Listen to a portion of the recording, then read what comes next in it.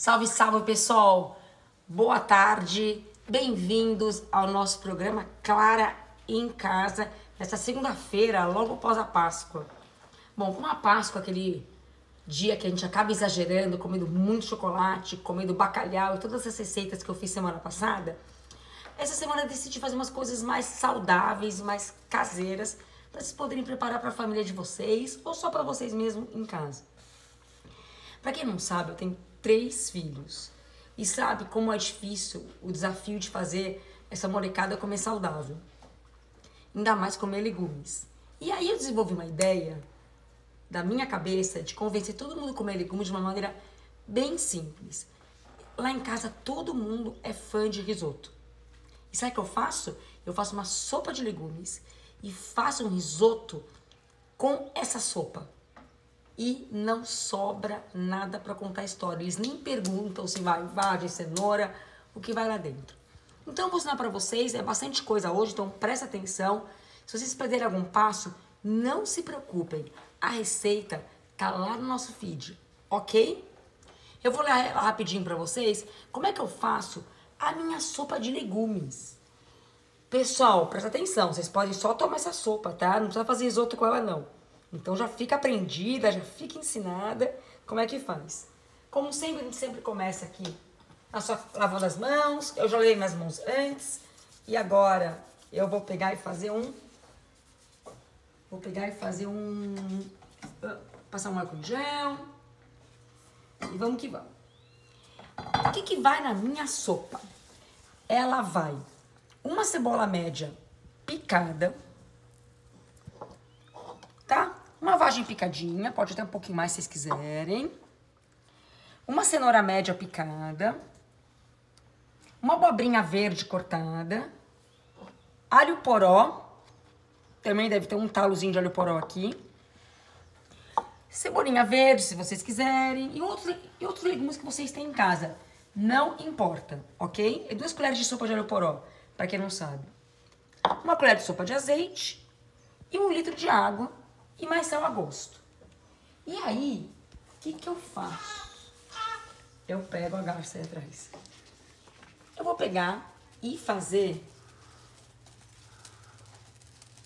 o meu, a minha sopa, passo a passo, ok? Quanto tempo demora para cozinhar uma sopa?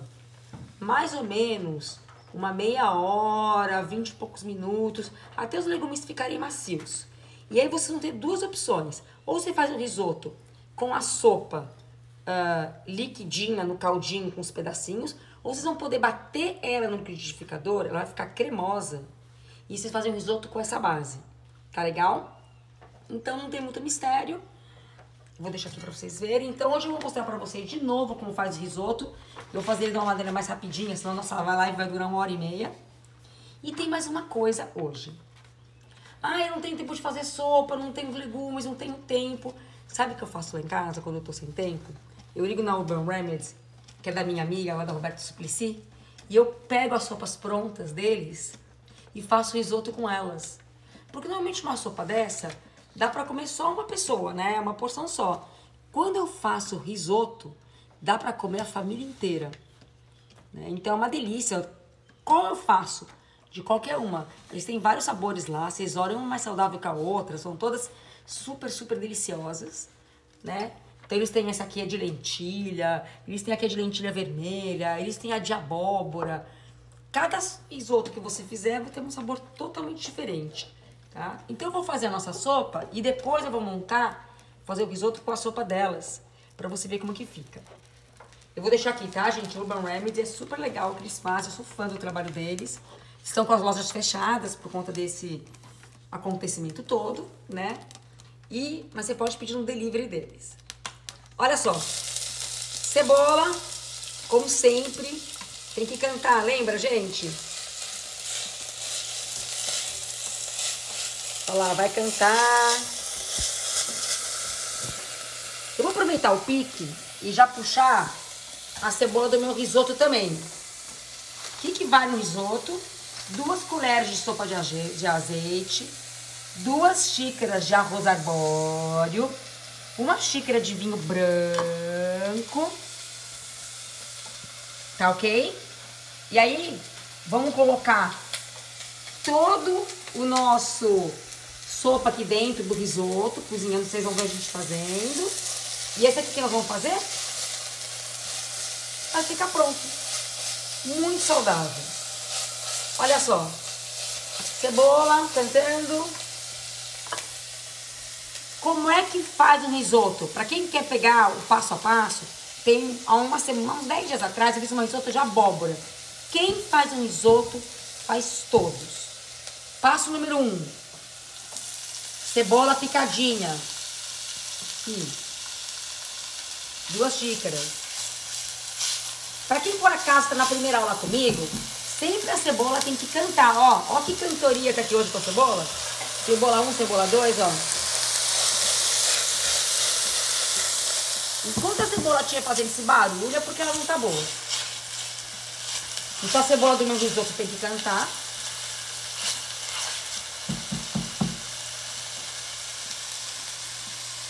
Estão ouvindo? Já vou aproveitar para colocar todos os meus outros ingredientes. O alho poró. Isso aqui na sopa, tá? A vagem. A abobrinha. E a cenoura. Só a cebolinha ficou de fora, ó. Então aqui, ó, dá uma olhadinha aqui pertinho. Tio Pezão, que é meu cameraman hoje, ó. Mostra aqui a minha sopinha de legumes como tá. Vocês estão vendo, ó? No mercado, vende os legumes já prontos, cortadinhos, frescos, ou tem uns congelados, ok? Claro que o fresco é sempre melhor, mas, gente, bom inimigo do ótimo. Tem o congelado, vai de congelado. Ó, depois que minha sopa, que meus legumes dão uma douradinha, eu vou acrescentar água.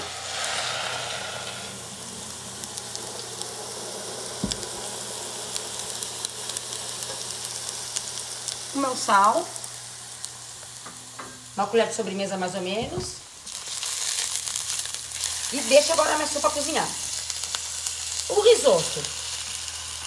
Presta atenção que quem fez o risoto fez todos. Bem fácil, tá ok? Vocês vão pegar e uh, deixar a cebola ficar bem picadinha como tá agora. Vou acrescentar o meu arroz. Todo risoto começa igual, ok? Vocês vêm aqui, ó.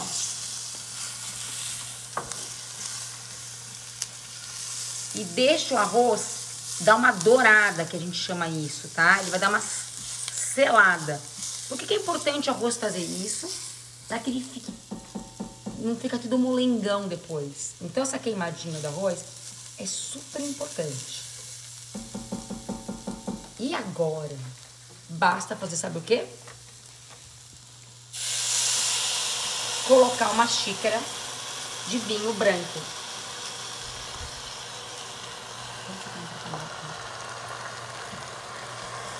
Olha só.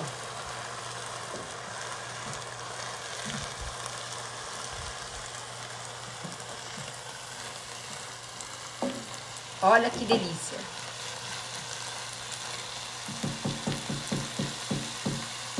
E aí, nós vamos esse risoto. Quanto tempo vai cozinhar esse risoto? Por 20 minutos, eu vou acrescentar meu caldo de legumes pronto aos poucos. Durante 20 minutos ele vai ficar pronto. Para adiantar a vida, já que a gente está aqui no ar, o que, que eu vou fazer?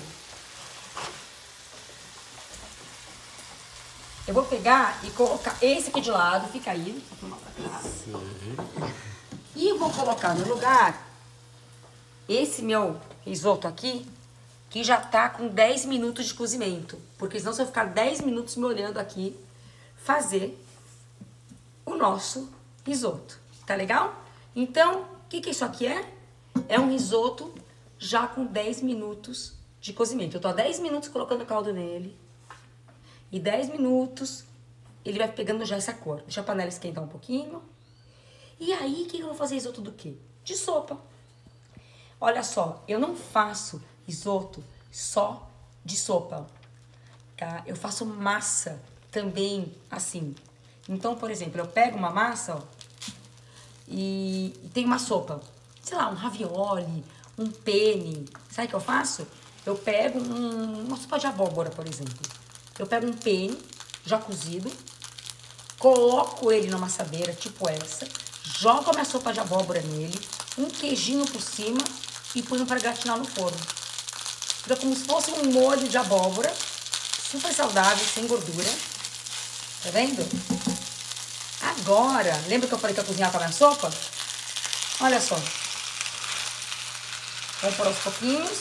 E aí, de ladinho, vocês pegam um pouco de caldo de legumes, pode ser de cubinho, ou pode ser um caldinho natural desse, para deixar mais molhadinho, tá bom? E aí, nosso risoto vai cozinhar no sabor que vocês quiserem. Super natural, bem legal de fazer.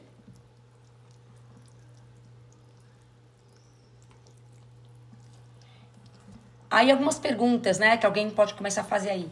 Posso, quando eu for fazer em casa, deixar meu risoto pré-cozido, que nem você fez 10 minutos? Pode. Em restaurante é assim que a gente faz. Né? Não é que você chega num restaurante e fala, ah, eu quero um risoto de alho poró com camarão. Não é que chega lá e do zero o cozinheiro começa a fazer. Os cozinheiros em cozinhas profissionais, eles vão fazer o quê? Eles vão deixar o risoto já cozido há 10 minutos, 10, 12 minutos. Porque mais 5 minutinhos colocando tudo, já fica pronto no jeito. Ok? Olha só. Deixa ele começar a cozinhar. Mais uma vez retomando a minha sopa. Olha só, a minha sopa que já tá começando, ó, a ferver. Ó que delícia. Tá? Vocês podem acrescentar mais água se vocês quiserem. E mais uma vez, vocês podem bater a sopa. E ela ficar cremosa para você colocar aqui, que nem a sopa que eu tô usando. Ou você pode usar a sopa assim em pedacinhos, que nem brodo. Como vocês quiserem, ok? Olha que legal já o meu risoto fervendo. Vocês separaram que eu não coloquei sal, né? Por que, que eu não coloquei sal? Porque depende do sal da minha sopa, o sal do meu caldo. Se a gente coloca muito sal, como é que fica? E ó, um, um pote de sopa concentrada dessa é o suficiente para uma para duas xícaras de arroz, tá bom? Ah, quanto eu vou usar? O rendimento. E quanto vai dar disso aqui? Vai dar para umas quatro pessoas. Depende da fome da casa de vocês. Eu tenho um filho de 14 anos. Gente, o moleque nunca comeu nada na vida. O menino tá um esfomeado. Esfomeado. Terrível. Olha só. Olha que legal. Gente, não tem mistério, né? Vamos combinar? Aproveitar para provar o sal. Nossa, tá ficando divina. Divina. Nossa, como é bom isso.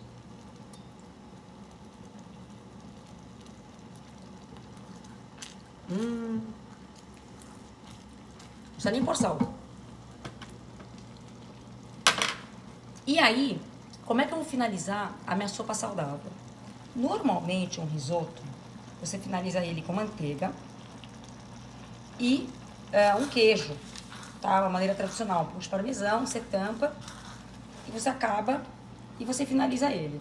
Como é um risoto saudável, se for o caso de você, está de dieta, você pode só finalizar com umas duas colheres de sopa de azeite e não colocar o queijo, ok? Como eu quero que vocês aprendam a fazer risoto de novo, por isso eu estou ensinando aqui de novo, o que, que eu vou fazer aqui? Eu vou finalizar ele como se finaliza ali normalmente. Tá? Tá? Como é que a gente finaliza um risoto normalmente? A gente coloca, né? Manteiga. Ai, quanta manteiga. Gente, a única gordura que foi aqui foi essa manteiga. A gente coloca a manteiga. A gente coloca... Nós colocamos o queijo. Isso é como finaliza um arroz risoto normal. Mas vocês querem um risoto de legumes, mas ninguém tá de dieta. Finaliza assim. Na minha casa o pessoal não usa dieta não, tá? Só quero que eles comam legumes. É todo mundo bem magrinho. E olha só que legal. Depois disso, você vai tampar. Já desliguei o fogo. Por uns dois, três minutinhos. E vai daqui pra mesa. Fala que não é fácil. Super, super simples, sem nenhuma dificuldade. Ou você faz a sua própria sopa de legumes e com ela você faz seu risoto. Ou você compra uma sopinha pronta da Urban Remedy ou da marca que vocês preferirem e fazem delas um risoto. Você vai ter um, um almocinho ou jantar de segunda-feira delicioso, todo mundo comendo legumes, todo mundo saudável numa época tão importante que nem essa. E no final ele vai ficar assim.